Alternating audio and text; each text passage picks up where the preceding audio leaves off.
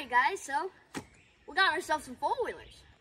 Yeah, they're fun. Um, we got Sawyer's 250 EX, and we got my 250 EX. And I'm gonna be hitting some mud holes. Yep. Um, and I'm gonna be hitting some hill climbs on the pit bike. Uh, so let's get started.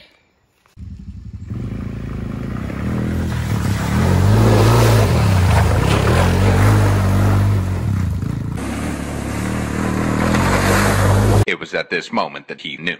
He fucked up. Oh! He is drenched!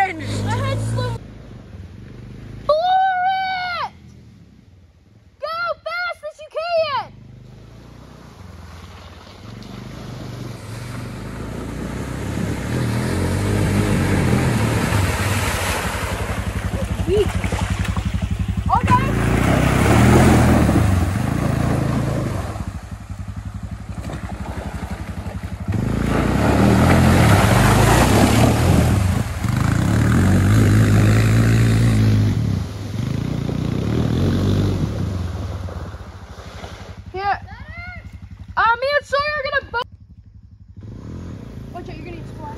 It's fine.